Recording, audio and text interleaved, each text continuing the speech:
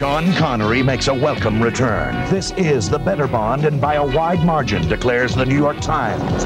Sean Connery is back and greater than ever, says Rex Reed.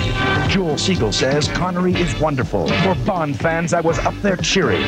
It's inventive, imaginative, tension-filled fun, says the Los Angeles Times. And Gene Siskel of At the Movies declares 007's a winner again. See Sean Connery in Never Say Never Again. Rated PG.